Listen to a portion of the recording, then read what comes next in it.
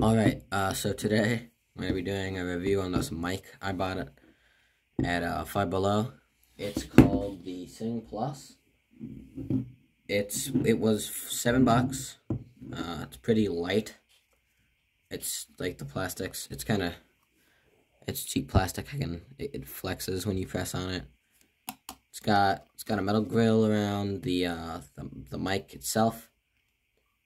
Which actually comes off. I'll show that in a bit a metal grill on the speaker, six buttons, which is the buttons are power, uh, fast forward, rewind, pause, slash play, uh, LEDs.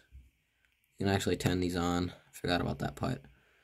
And vocal effects. And we'll get to what the vocal effects do in a second. Uh, and then you have volume. So, volume, it turns the mic volume up. Um, and then there's there's also remix, which remix just it's it says remix, but it's more it's more of a reverb. Uh, so it's I would recommend buying it. Not don't don't buy it for studio purposes, but if you're gonna have like a karaoke night, uh, buy it. Go ahead. It's cheap. It's fun to mess around with. Get it for your kids but uh, it's not exactly fun to use, and I'll get I'll get into that in a second. When I say it's not fun to use, uh, basically, I tried to record with this, like plug it into a computer and record. Uh, it didn't work. I tried to use it with Audacity. I tried to use it with the camera app that's on my computer. It didn't work at all. Uh, I did the same with my phone. I hooked it up wirelessly to my phone, didn't work.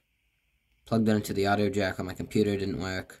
I even tried uh, using pause and play to record with the SD card, which isn't in it right now. I took it out, and then there's a this is for charging, and then there's this USB, which I have no idea what it does because it doesn't say in the instructions what it does.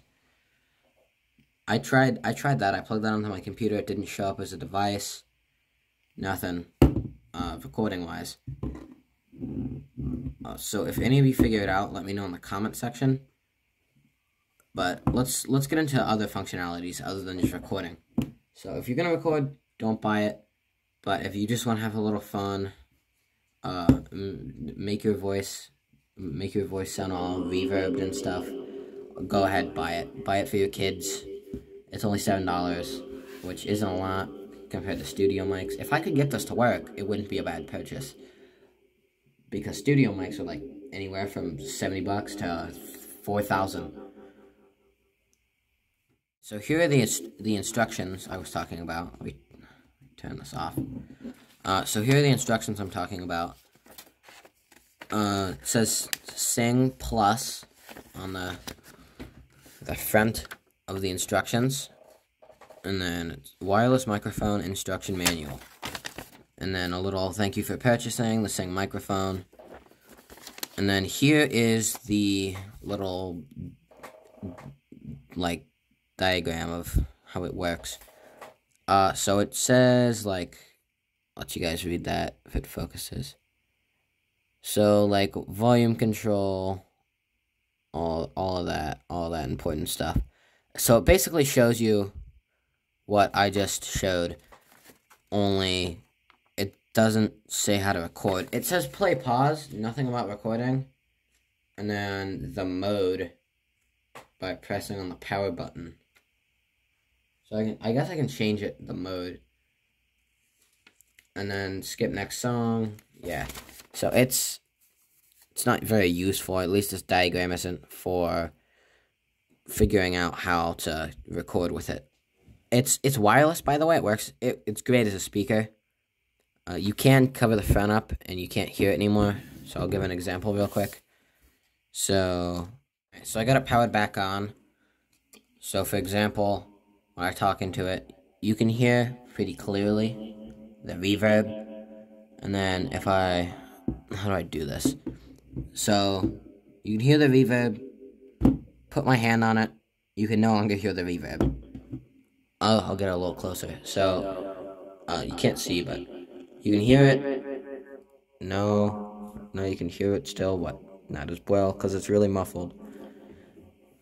Uh, again, it's the speaker's okay. Honestly, it's not the worst I've ever heard, but it's not ideal for just general use in like a how do I in like a a speaker that you'd put in a stereo system. So effective for pretty much one purpose. They tried to outdo themselves with the recording part. I don't know how to record because they clearly didn't do a good job in the instructions. But yeah, let's let's open this top top up. Here you can see inside. Here's the mic. Just that's that's all that's inside. And then inside this part, there's just foam to not get spit in there, and like it's it's like a pop filter. So they they put a pop filter in it, so that's nice. Let's let's hear it without the without the cover. It sounds pretty a little kind of funny.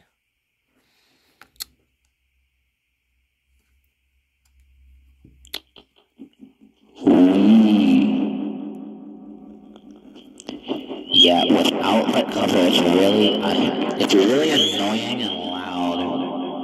I'll turn that off before I, I give someone an aneurysm. So it's it's definitely definitely keep the cover on, unless you want it to make a little funny you know, a little funny noise. But otherwise, keep the cover on it because it's pop resistant. It it protects the mic too. Like if you drop it, this isn't gonna this isn't gonna end well if I drop that. So I'm gonna I'm gonna open it up now since this is I I do that a lot on this channel. So I'm gonna open it up and we'll see how it works. Uh, it's not gonna be a too in-depth video on how it works, but it'll be still useful. Alright, screws have been removed. So, inside, what do we have? It's a tiny circuit board as I expected. Literally, it's super simple. There's nothing to it. The speaker, honestly, the speaker is not really that bad. Just by looking at it, I can't really tell without running tests on it, but looking at it, honestly, it looks fine. It looks like a pretty average speaker actually above average for Five Below stuff. This, battery, just your everyday 3.7 volt. I have a ton of these. They're in just about everything, like RC cars and stuff. Wiring, there's it not. It's not really stuck anywhere inside. Not that you're gonna be opening it up and looking, so it doesn't really. That part doesn't matter very much. The battery fits in here, and then it closes like that microphone. From what I can tell, this is an okay microphone. It's pretty, it's not exactly, I wouldn't call it high quality, but it's not as, it's not as low quality as you would think it would be inside something from Five Below.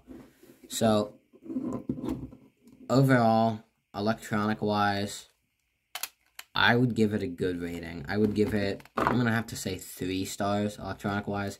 This entire half there's nothing in this. There's no speaker, not even a counterweight.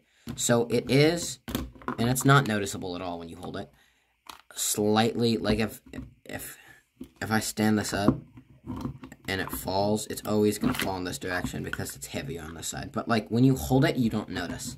But it does make it harder to stand up if you try to stand up. I mean, it's unscrewed right now, but still, it's not, it's not meant to stand up anyways. If you're going to stand up, you'd have to get like a stand for it. Uh, yeah, that's pretty much how these, how, how the internals work. I had a similar one one time. It, it looked kind of like this, but there was a box up here instead. That's, I mean, they're all pretty much, they're all the same chips and like all the same components and stuff. It's all, it's all the same, just in different shapes and on different boards and stuff. Uh, let's take the circuit board out and flip it over though. And I'll see you guys. I'll be right back.